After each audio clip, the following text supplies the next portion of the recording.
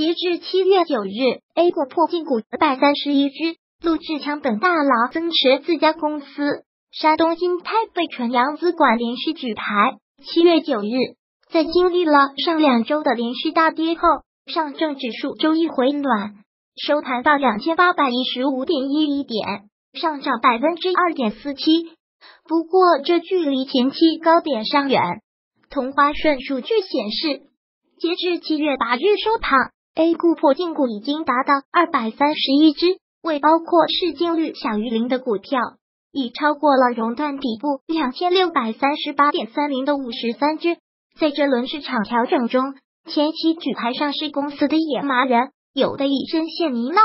据媒体不完全统计，二零一七年七月份以来的举牌案例中，不赢案例寥寥无几，绝大多数上市公司的当前股价。均在举牌成本价以下，个别公司股价甚至已经低至举牌价的五折以下。有人兴业改逃，有人卸甲归田。前期举牌的野蛮人浮回顺藏的情况下，据同花顺统计，六月以来数百家上市公司控股股东、大股东、董建高已增持了自家公司，有的股东增持比例已经触及百分之五，也有的资本在趁机举牌上市公司。二百三十一只股破净，金融、地产等称破净主力。综合来看，今年破净行业主要集中在金融、地产和中上游行业。破净公司数量前五位的行业分别是公用事业、房地产、交通运输、银行和机械设备。其破净公司数量分别为二十四、十二、十六、十六、十二只，合计达九十只，占比为百分之四十四。金融地产破净数量为四十六只，占比为百分之二十三。金融地产和中上游行业是破净的主力。天风证券认为，金融监管、去杠杆和房地产调控的持续推进，导致市场对金融地产的预期比较悲观，这引起了金融地产中破净现象比较明显。该机构称，投资者对金融地产不用悲观。当前破净潮下的金融地产或存在系统性机会。对比二零一三年、二零零八年形势数据，破净行业大体相同。对于这种现象，中泰证券分析师郝振甫认为，这些行业大多属于重资产，P/B 估值本来就相对比较低，在市场悲观时容易跌破净资产。当前市场环境下。投资者主要担忧去杠杆效应下对相关行业资产质量和盈利能力的担忧，金融、地产和周期性行业首当其冲。不过，今年传媒、电子、通信、食品饮料、休闲服务等偏成长性的行业也出现了破净现象，这与二零一三年熊市相比是一个新特征。从市值层面来看，根据 Wind 数据统计。目前破净股中一百亿元市值以下的公司达百分之六十一点二四，其中市值小于五十亿元的占比达到百分之三十二点五四。由于缺乏基本面支撑，中小上市公司在熊市状态下的表现更差。A 股增持潮，六月来五百零八家公司股东增持，不过数百家个股破净引发了股东的增持潮。同花顺数据显示。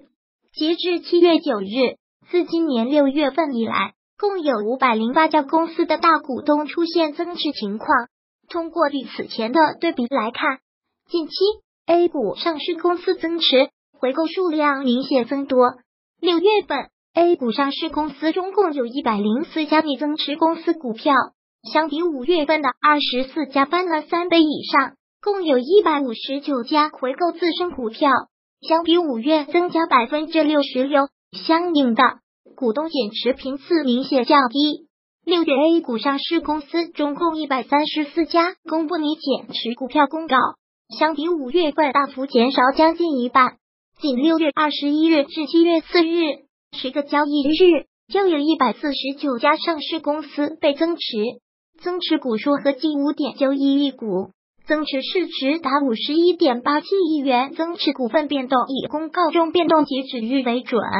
其中，三期沪渝被增持的股数最多，达四千六百二十四点零四万股，占流通 A 股比例为百分之三点九八，三季度预备增持的市值最多，达六点九三亿元。而增持股数占流通 A 股比例较高的公司为周宁科技，增持比例高达百分之五点一零，还有的股东或高管增持比例触及了百分之五，这其中包括暴蟹鸟以及博雅生物的股东或高管。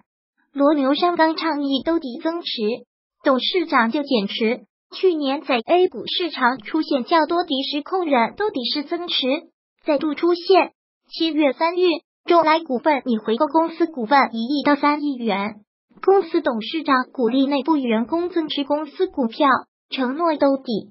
而在此前，华瑞股份六月二十日晚间公告，控股股东、实际控制人、董事长孙瑞良提交增持公司股票倡议书，鼓励员工积极买入公司股票。孙瑞良承诺，分至七月十一日期间净买入的公司股票。且连续持有十二个月以上并在职的员工，孙瑞良将对亏损部分予以全额补偿。若有股票增值收益，则归员工个人所有。不过，也有公司前脚刚发布兜底式增持倡议，时隔一天就发布了董事长拟减持股份的公告。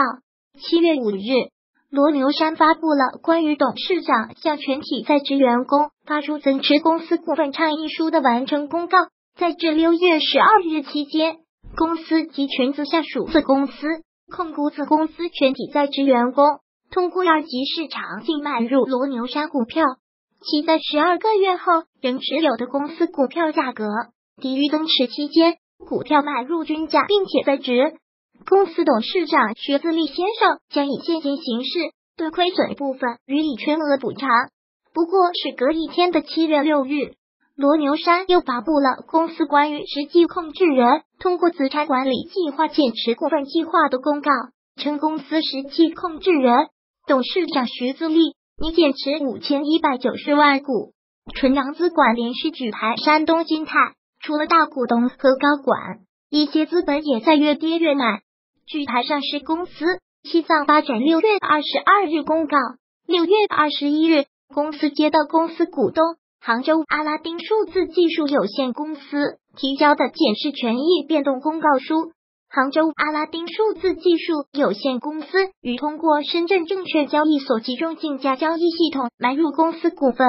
本次权益变动后，其持有公司无限售条件流通股幺三十八万八千七百三十五股，占公司总股本的百分之五。六月二十六日晚间，山东金泰公告宣布。获得杭州纯阳资产管理有限公司（下称纯阳资管）再度举牌。此前，今年四月二十四日晚间，山东金泰公告了纯阳资管的第一次举牌。当时，纯阳资管已累计买入了七百四十点五四万股，占总股本的百分之五点零。七月六日，山东金泰又公告称，公司股东杭州纯阳资产管理有限公司计划自治期间。通过上海证券交易所交易系统增持山东金泰集团股份有限公司股份六十万股至七百六十万股。本次拟增持股份的价格区间为六元股至十五元股，依照二级市场价格择机增持。纯阳资管的行为吸引了监管层的注意，监管层重点问询了这三个资管计划背后的实际出资人以及杠杆使用情况。公告显示。纯阳资管否认这些资金使用了杠杆。被增持的山东金泰，二零一七年实现了两千五百万元的收入，这一数字不及过去三年年营业收入平均值的百分之二点五。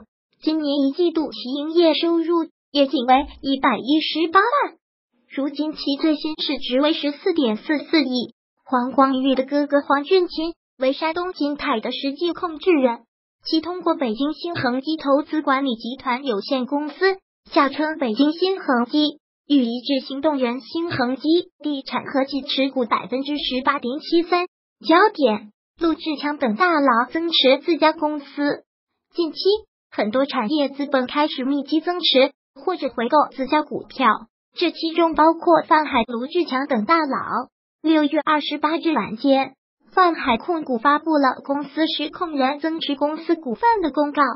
泛海控股迪士控人卢志强出手增持三百万股，复星旗下的上市公司也获得了股东增持。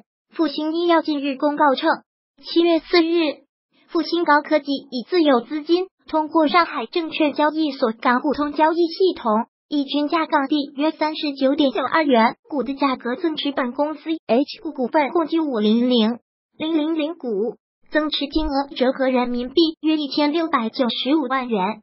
增持后，复星高科技占其已发行股份总数的约百分之三十八点零四。据美的集团七月四日晚间公告，美的集团基于对公司发展的信心和对公司价值的认可，决定拟以自有资金回购公司股份金额不超过四十亿元。青海开源基金首席经济学家杨德龙认为。产业资本增持说明对当前股价的认可。产业资本对于上市公司的理解，应该是比二级市场投资者要多得多。所以，产业资本的增持是大盘见底的信号。如果喜欢本视频，请分享并订阅本频道，访问 T T News X Y Z 获取更多相关资讯。